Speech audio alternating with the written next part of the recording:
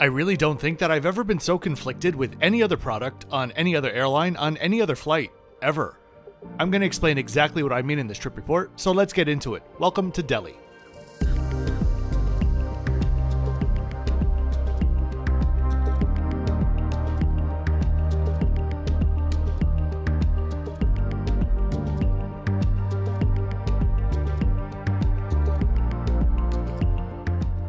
If you'd like to know the exact fare that I paid for my flight or my next five videos in queue, please check out the description below. And if you're new here, hi there and welcome to the channel. My name is Kevin. The internet needs more honest content, plain and simple, and that's why I'm here. I make airline trip reports, high-end hotel reviews, and cruise ship tours as well. I self-fund all of my videos, and I don't alert any company that I'm coming, because I want to have as normal of an experience as possible.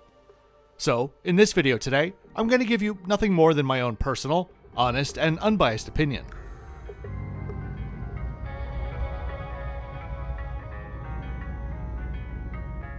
When I was making the graphics for this video a few weeks ago, I wrote a note to myself over the thumbnail to ensure that I would see it when I was writing the script. It says, quote unquote, try not to sound like an absolute tool. So, I'm gonna try. In reality, this might just be my most objective review ever, since my score and my personal feelings really don't match on this one. We'll get into that, but first, how this flight came to be. When I search for flights, sometimes I'm just looking for whatever jumps out at me without a solid plan in mind, but in today's case, I needed to get to New York. I was searching from this general region and found this surprising fare Delhi to New York JFK via Singapore for around $1,500 one way in business. Generally, one way fares on this routing are in the 2,300 to $2,900 range, so I lucked out. I knew I wanted to do another trip to India as well, so this all just fit together quite nicely. Arriving at Delhi's Indira Gandhi International Airport in the late afternoon is a wee bit chaotic.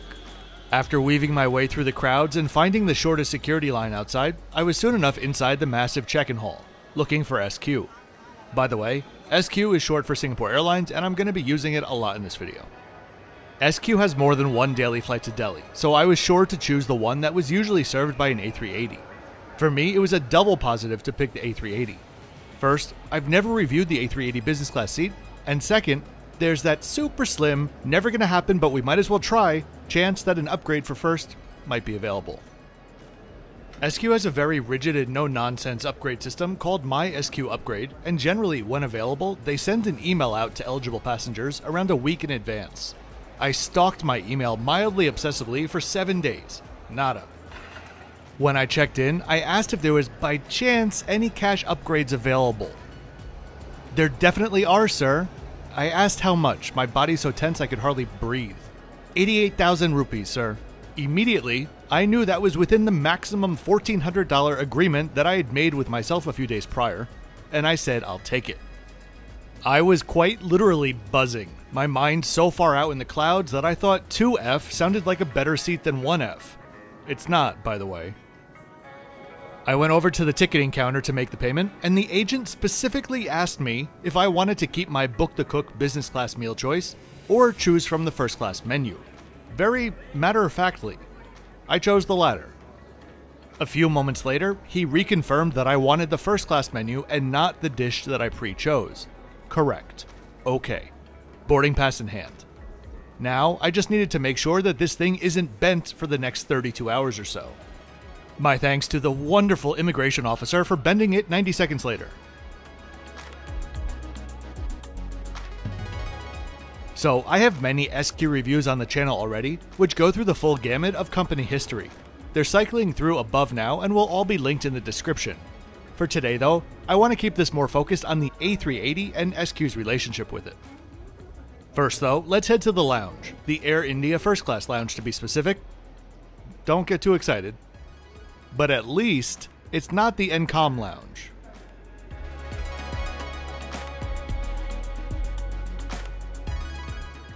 Inside, there's plenty of seating, with only one other passenger on this side of the lounge.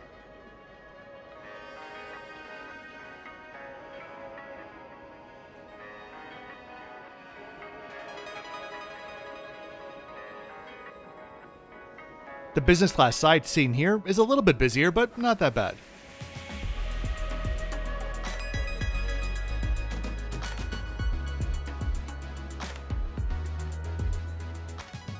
All of the food that you see is shared for both sides.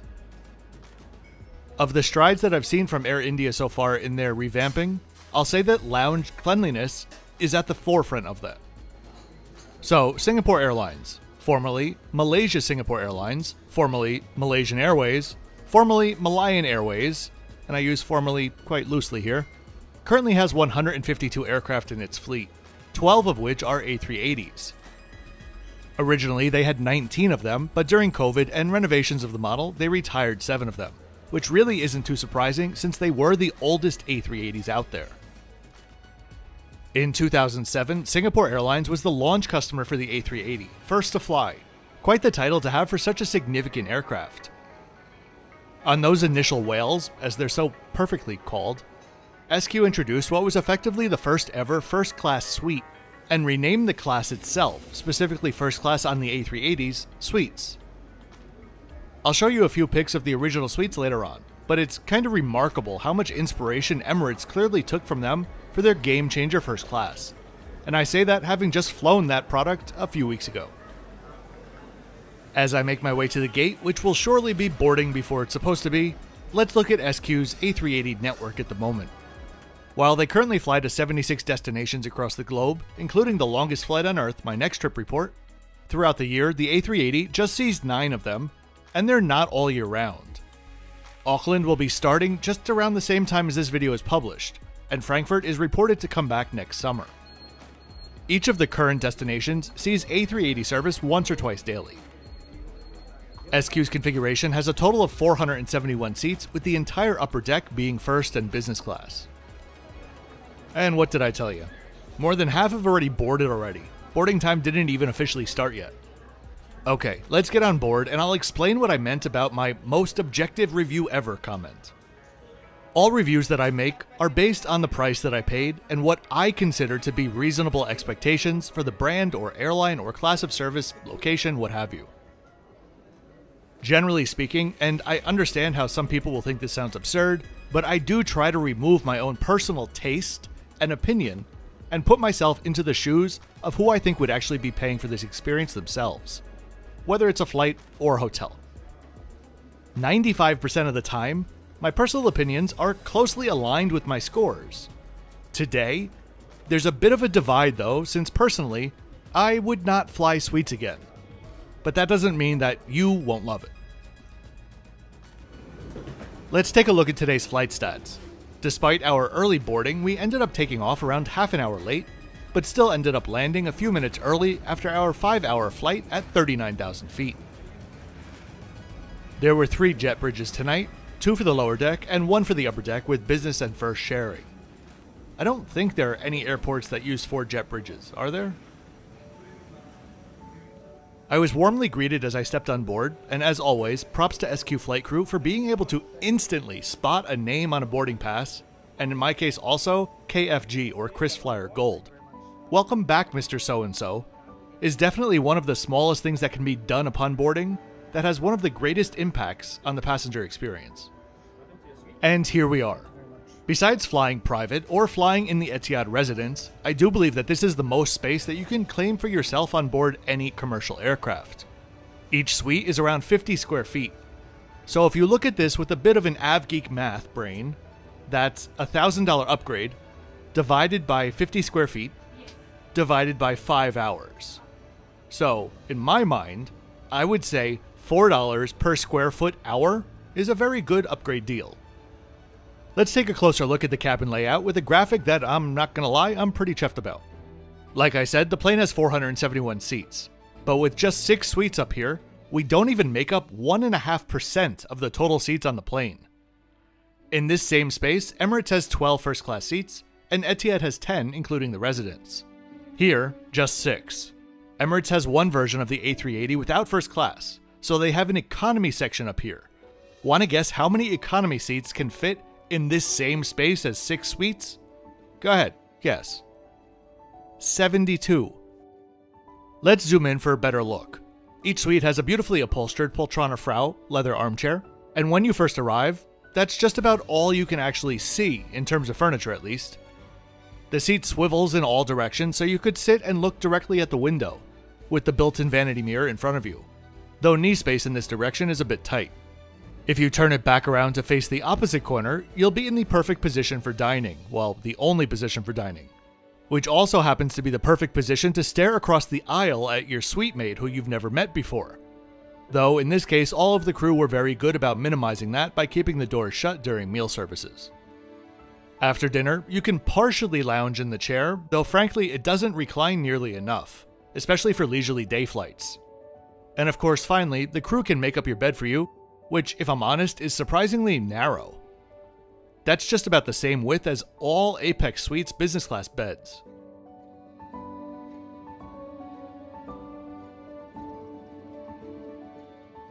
Okay, so as we look around some of the more self explanatory but beautiful parts of the suite, I'll quickly tell you why personally, this is nowhere near my favorite first class product. I'm talking about the hard product. Here comes the don't sound like a tool part. It just doesn't make sense. There is so much wasted space in here, and yet when you're actually using it, it doesn't feel spacious. It's a square. Why? Etihad gives you the same fixtures but in a more efficient layout. Yes, I know that most people love the spaciousness of it. But again, I'm talking about my own personal thoughts right now, and for me, I like efficient and thoughtful design, not quasi house furniture put into a square room. The beds are narrow and hard. The chair itself is fine, but it's nothing super comfortable like Emirates Game Changer.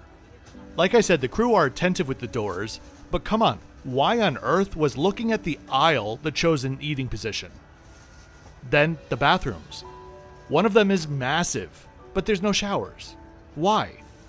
My recent shower in Etihad's first class was divine with a capital D. When SQ launched the product, they literally said, We asked our customers and they said a shower was not a priority for them. I don't buy that for a second. If the appeal of a shower in the 12th hour of a 14 hour flight doesn't appeal to you, we can't be friends. Lastly, this is partially due to the nature of the A380 itself but because you're kind of far away from the window during takeoff and landing, combined with the quietness of these birds, it just doesn't feel like you're flying. You feel quite detached from the experience. It actually made me feel like perhaps I might prefer their old suites, which they debuted in 2007. You can see a few pictures of them here. I haven't seen the pictures in quite a while, but I have to say that they did kinda age pretty well. Okay. Done. I think I kept that to about a 6.5 out of 10 on the tool scale. Just my honest impressions. Everything else I'm going to say going forward is based on my score, which is based on what the average first class passenger likely thinks of the product. Do you ever wonder why I and other content creators ask you to click that thumbs up button and subscribe? Well, there's two main reasons. First, it's easy to forget to do, so this is your little reminder. Secondly, it truly does help the channel continue to grow by increasing engagement. So please, click it, subscribe, and share with family and friends. If you'd like to support me even further, my Patreon is linked in the description below. Thanks very much in advance. Just for a bit of size reference.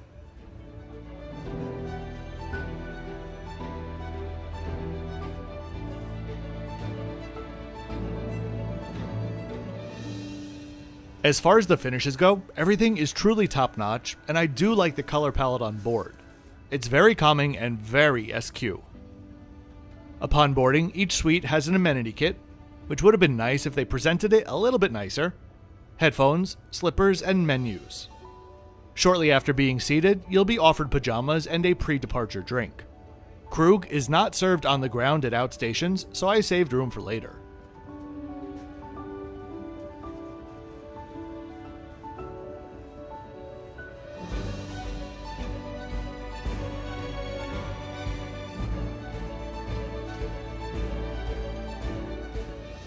While seated with the door closed, there's certainly enough privacy, but keep in mind that the walls don't go to the ceiling if that's important to you.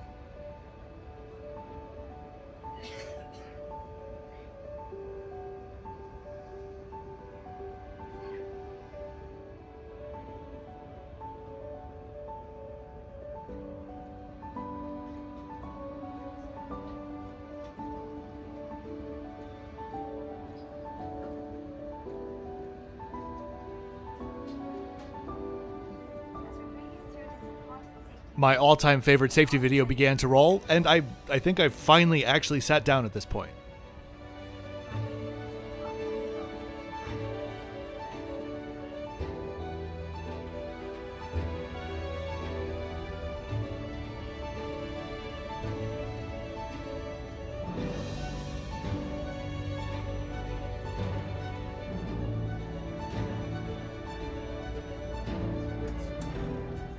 We pushed back, and then they played the suite demonstration video. Keep in mind that while the TV does swivel, for taxi takeoff and landing, your TV and your seating position will be at a 90 degree angle to each other. Not ideal. This is in part due to the fact that the walls between rows 1 and 2 lower to combine into a double suite. Row 1 suites are slightly bigger and do have a second monitor directly in front of you for the taxi and takeoff seating position.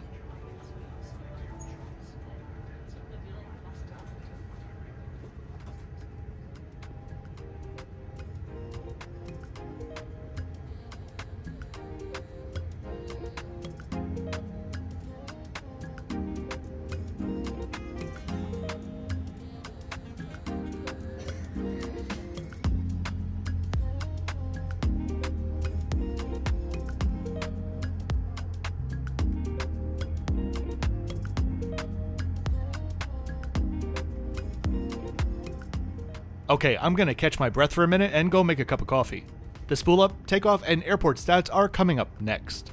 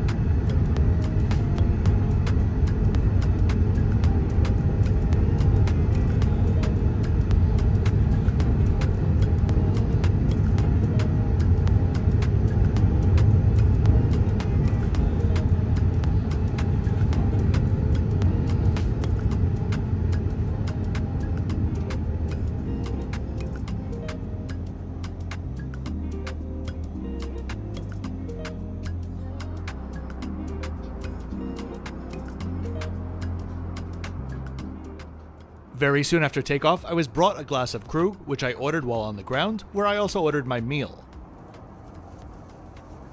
The Krug was crisp, and at $240 a bottle was a nice way to officially start the occasion. But a bit of bad news did also accompany this. Have a look at the excellent entertainment system as I tell you about it.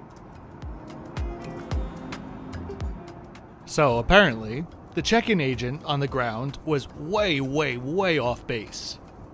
I mentioned that he confirmed with me twice that I wanted the first class menu. Not only was he wrong, but according to my outstanding crew, it is never an option, at least in Delhi, to choose a main course from the first class menu if you upgraded the day of departure. If you use Book the Cook, you'll get your business class selection, and if you didn't order, You'll choose from the business class main dishes on offer. All of the other food would be from the first class menu, though. Meal service began with satay service, which frankly I always want six more portions of. While she didn't explicitly say this, my flight attendant did lead me to believe that although the cabin today was full, that only one of them was actually a purchase ticket. The rest were all upgrades and so there was only one thali on board available for the booked passenger. Not a huge deal, just surprised that the agent on the ground was so far off base. While we wait for the rest of the meal to begin, let's take a look at some of the amenities on board. The very smart looking black and white amenity kit was from Lalique, and was a really nice kit overall. While I do collect every kit that I get, it's rare that I actually end up using all of the products inside. So in this case, the Neroli scent was really nice, and the house scent was a nice touch as well.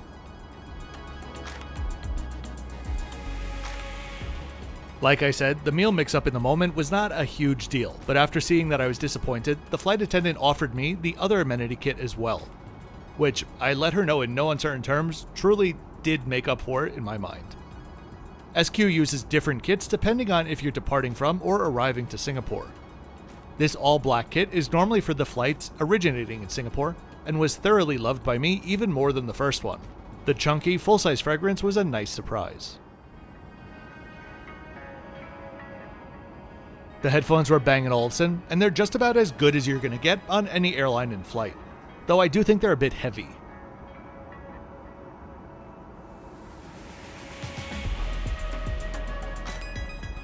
As for the pajamas, they're soft and cozy, but in a very standard jersey knit kind of way. Besides the Lalique branding, there's really not much to be excited about here.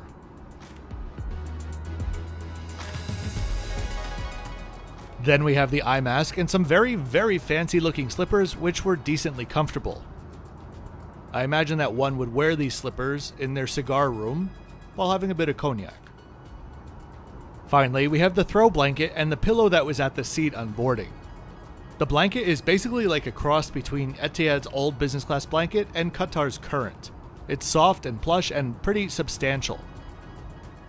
The pillow, on the other hand, is pretty stiff and clearly more of an ornamental piece as opposed to something you're actually going to be cuddling with. But don't worry, you'll get proper pillows during turn down. Note though, I do love the fact that the back of the pillow, covered in velvet, had not a spot of lint on it.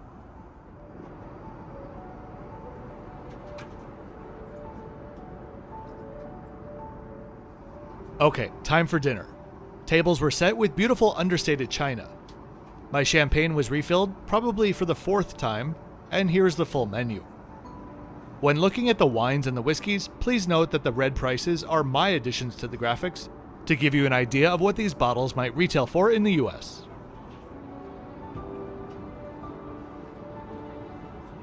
If you enjoy first class content, be sure to hit that subscribe button because I've got 7 or 8 more first class videos from an array of airlines coming out in the next year.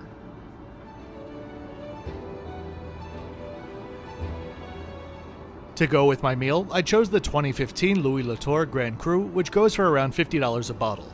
But that wasn't actually on board, and I was offered a similar Burgundy, which went for $140 a bottle. So, no complaints from me. I started off with what was simply called antipasto. It was certainly a hefty portion, but for a starter, I've had like 12 iterations of this dish in business class.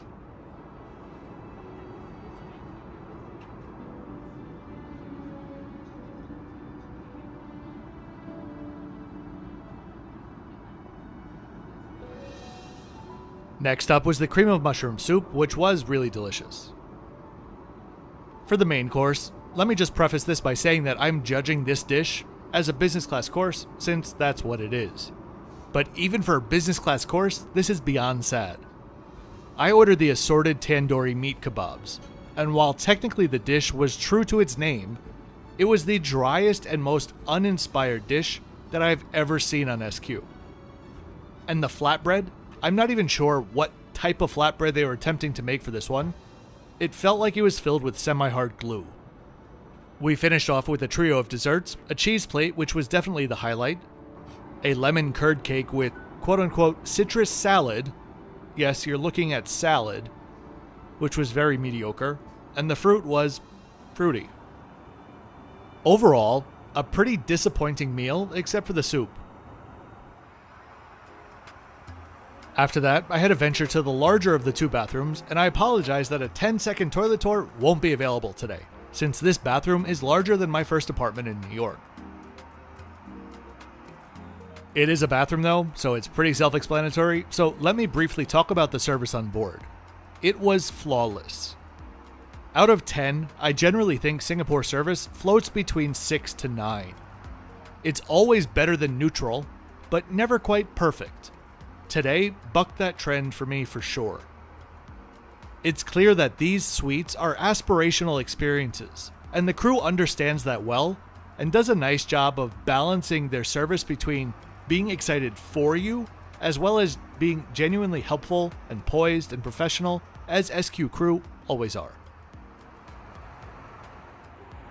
While I was in the bathroom, my bed was turned down and it was looking pretty plush. I have two praises and two critiques. The critiques first. You can't see this, but that bed is hard as a rock and for no good reason. When folded away, which it has to be most of the time, it serves no other purpose. So please tell me, why couldn't it be a high quality memory foam or even some sort of real mattress? Second critique the size of the bed. It's 26 inches wide, which, like I said, I think is a bit narrow, but my real complaint is about the length. It's 73 inches or 185 centimeters long.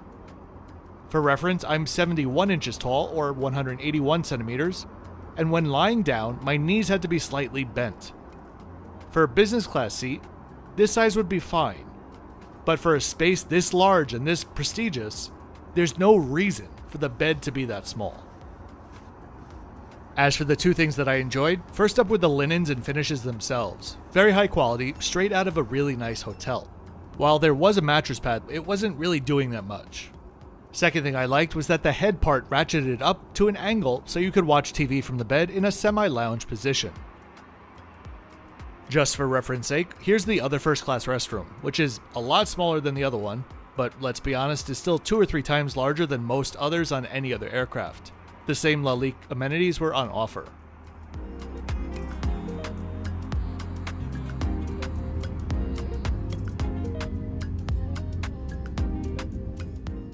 So, as we approach Singapore, let's see if I can't wrap this up neatly.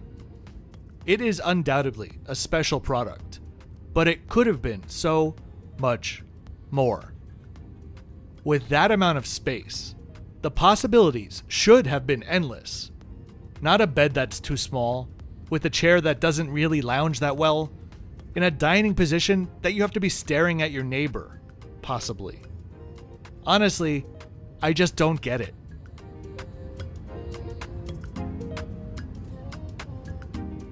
Overall, the food was very middle of the road, and the main dish aside, anything else that I ate could have easily been served in business class. At least the service and some of the amenities on board did make up for that. So, should you do it? This is a tough one. If you can get a good deal on an upgrade, or a good redemption deal, then sure, go for it for the novelty of the experience alone. For cash tickets, I would say it's only worth it if flying to London, Frankfurt, Australia, or New Zealand. For all of the other destinations, business class will do just fine.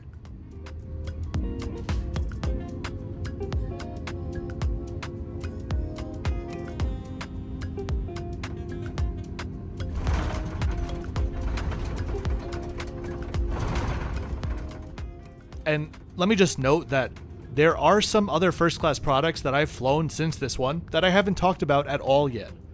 And there are, in fact, some first class products that I'd pay for a two hour flight to be on. So it's not just first class is never worth it for me.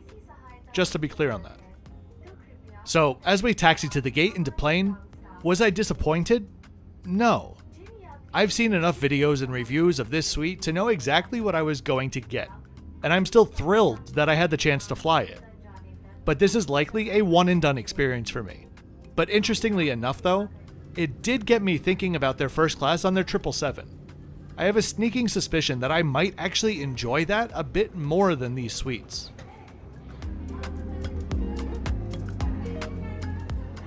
One final benefit of my upgrade today for my 6 hour layover is that I get access to the private room. That's coming up on my JFK flight, coming up next week. I really do hope that you enjoyed this video today. If you did, please be sure to click that thumbs up button and hit subscribe so you don't miss out on any of my upcoming content. I will see you next time from the incredible Six Senses Fort Barwara Resort. Oh, and thanks for watching until the end.